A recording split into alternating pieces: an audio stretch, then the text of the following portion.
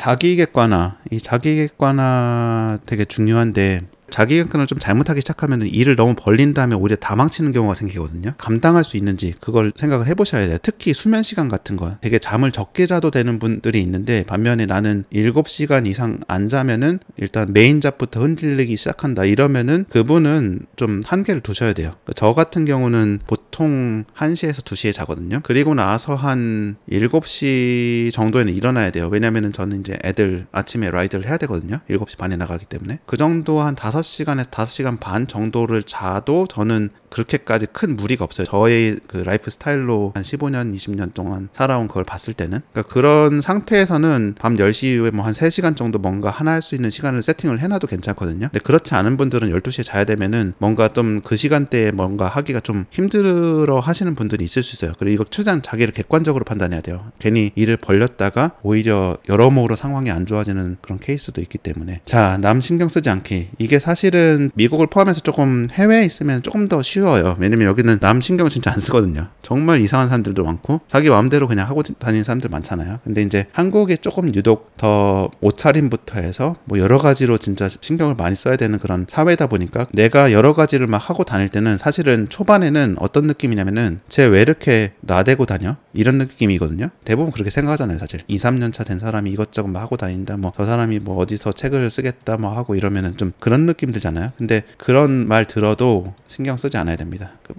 하지 않으면 뭔가 게으른 느낌이고 뭐 1, 2년에 한 번씩 뭐 이직하지 않으면 능력 없는 사람인 것처럼 막 말하고 이런 사람들도 있고 한데 요즘에는 어떻게 보면 또 장인 정신을 가지고 한 가지를 정말 10여 년, 20년 동안 파는 사람이 더 대단한 사람일 때도 있는 거고 그리고 한 직장 안에서 조직원들과 잘 조화를 이루면서 그 회사 프로젝트가 잘 돌아갈 수 있도록 관리자로 성장하는 역량을 갖춰나가는 것도 자주 이직할 수 있는 사람들 못지않게 굉장히 능력이 뛰어난 사람 사람들이에요. 근데 이제 음 우리 사회를 좀 많이 보 면은 저는 이제 좀 한 발 떨어져 있는 입장에서 보긴 하지만 그래도 어 인터넷에서 굉장히 1년에 한 1, 2년에 한 번씩 변하는 그런 유행 같은 게 있잖아요. 뭐 예를 들어서 몇 년 전만 해도 욜로를 한창 외치던 사람들이 한 2년 전에 갑자기 투자 열풍이 불면서 투자자로 다 인생관이 바뀌었고 그리고 또 최근에는 인플레이션이 시작되니까 뭐 짠돌이 짠순이 모드로 살기 챌린지 같은 걸 하는 등 트렌드나 이런 것만 따라가 가지고 내 가치를 계속 변화시키면은 정말 끊임없이 삶의 패턴만 바꾸다가 그냥 뭔가 정체성 없이 계속 살아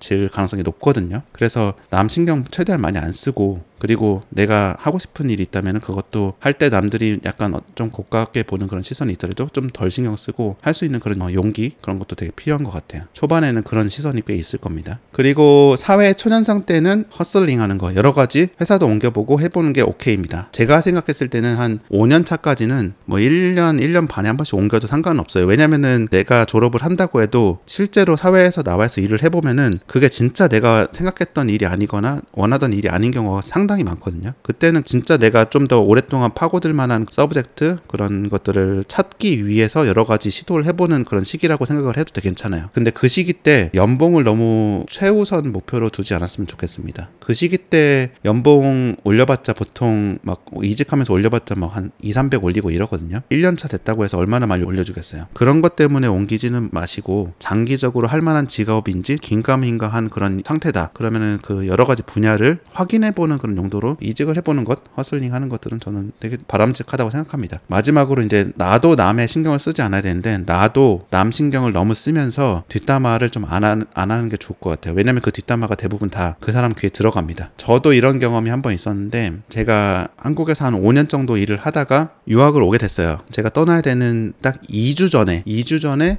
저희 첫째가 태어났거든요. 아기가 너무 갓난 아기고 이제 와이프도 그때는 한국에서 회사를 다니고 있었으니까 이런저런 뭐 복잡한 이유가 있으니까 몇 개월 정도 이제 저만 이제 먼저 나와 있었고 저도 미국이라는 나라가 처음이었으니까 저는 영어 쓰는 나라를 그때 처음 왔어요. 그런 상태를 자세한 내막을 모르면서 저희 이제 둘을 다 약간 조금 어설프게 아는 학교 동기가 있었어요. 근데 그 사람이 뒷담화를 하고 다녔다는 게 나중에 귀에 들어왔어요. 저는 애 태어났는데 애란 뭐 와이프 놔두고 혼자 뭐 편하게 유학하러 갔다 뭐 이러면서 약간 그런 걸 막 이야기하고 다녔나 봐요. 근데 그 이야기가 나중에 제 귀에 들어오니까 어 그게 사실은 제가 마음이 되게 안정되고 저희 상태가 모든 게 남부럽지 않은 상태다 이러면은 그렇게 크게 안 들렸을 수 있는데 저도 그때는 이제 모든 뭐 5년간의 그런 경력도 다 버리고 나오고 미국 오면 어차피 그거 다 안 쳐주거든요. 한국에서 경력 몇 년 해봤자 다 저희 가족도 힘든 상태였는데 그런 상태에서 그런 약간 뒷담화 같은 걸 들으니까 그 말들이 되게 딱 박히더라고요. 그 분하고는 그 이후에도 잘 안 친해져요. 되게 작은 뒷담화라고 생각할 수 있지만 상대가 좀 힘든 상태에 있을 때는 그 작은 뒷담화도 굉장히 큰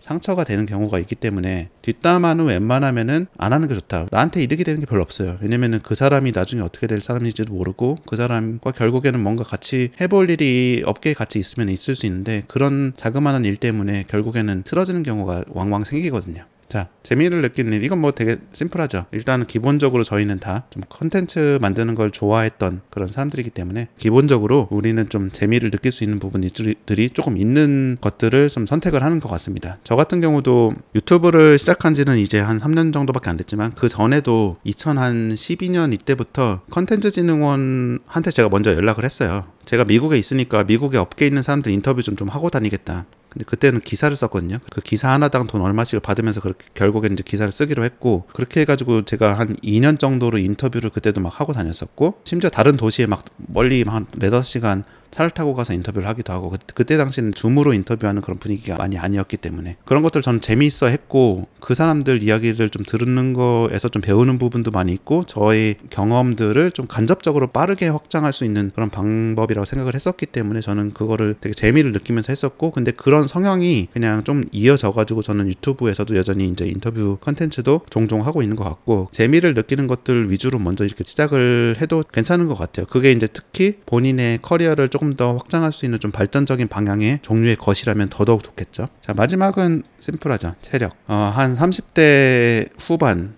남자분들도 20대 후반에 이제 학교를 졸업을 하더라도 30대 후반 되면 이제 업계에서 10년 차 이상 되실 건데 이미 하루에 최소 8시간 이상씩 앉아가지고 일하신 그런 몸이 되신 겁니다. 그렇기 때문에 제가 생각했을 때 한 30대 중반 정도부터는 운동을 나의 일 중에 하나다라고 생각을 하고 좀 세팅을 하고 해야 되는 것 같아요. 엄청 빡세게 해야 되는 그런 운동이 아니더라도 뭐 만보 걷기 아니면은 저 같은 경우는 최근 한 1년 반 정도는 자전거 타기 같은 걸 하고 있거든요. 그런 것 들을 하나 정해가지고 좀 유지를 해주시지 않으면은 장기적으로 뭔가를 하기 진짜 힘들고 제가 봤을 때는 한 40대 이후 커리어를 쭉 이어가시는 분들은 대부분 다 체력 관리를 하시는 분들이 많지 않은가 싶습니다. 다시 한번 말하지만 엔잡을 안 하고 행복할 수 있는 사람이 최고 승자입니다. 사실 한 가지 잡만 하고 나머지 일들은 다 취미 활동만 할 수 있으면 얼마나 좋겠어요. 잡과 취미는 어쨌든 잡은 좀 돈이 관련돼 있잖아요. 그래서 돈이 약간 걸리면은 거기에 대한 스트레스가 약간 있는데 그 스트레스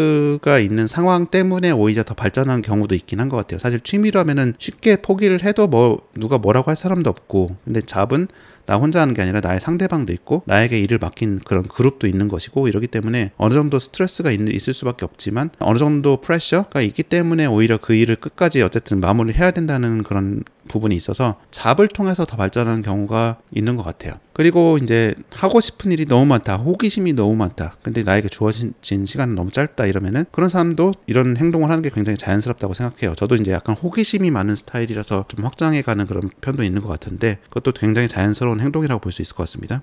그리고 한 가지 일만 할 때보다는 아까 말씀드렸지만 여러 가지 활동 영역이 넓어지고 여러 사람을 만날 수 있다는 장점도 있는 것 같고 FIRE가 목적이 아니라면 아무래도 일의 종류도 신중하게 생각을 하셔가지고 커리어에도 도움이 되고 뭐 재미도 느낄 수 있는 그런 side job을 병행하는 그런 슬기로운 엔잡러가 될 수 있으면 좋을 것 같습니다.